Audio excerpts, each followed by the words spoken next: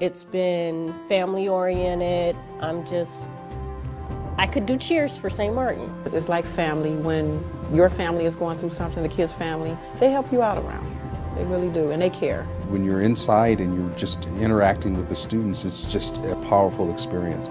And once she got here, it took a while for her to open up. But when she opened up, she opened up. And she was a totally different person.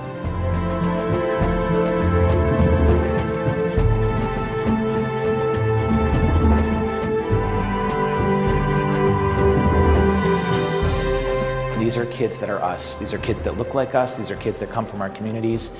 And these are kids that, but for whom St. Martin de Porres exists, would be in a very, very different fate. It doesn't matter where you come from, it's where you're going.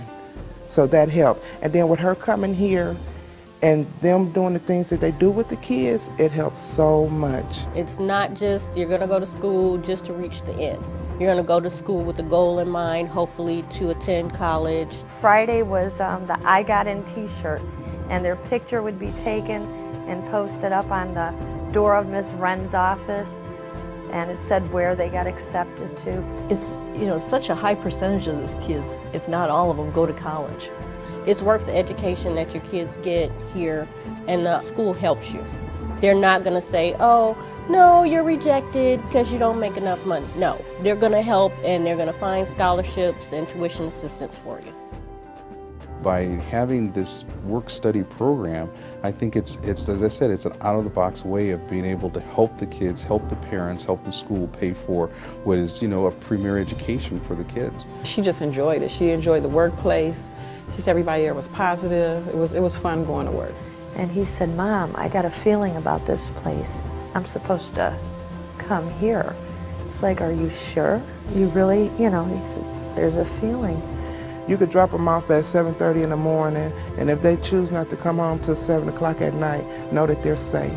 They're happy. How many kids you know in a, public school wants to stay at school at 7 o'clock at night? Graduation day. I get chills when I think about it. Just to see the people that he grew up with when they marched down the street, I, I was there like, oh my God. I was so proud that they had did the four years, that they had did everything that was required. What brings him back is, is honestly the, the teachers that he had, the staff that he had. You know, it sounds cliche when people say, oh, we're a family, because you hear that, you know, we're, but it honestly and truly is.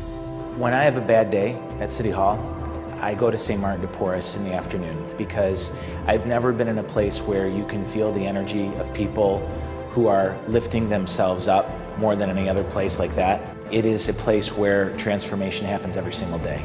The school and the people saw him through because the kids out there are faced with so much. It's just so hard and the school just backs them.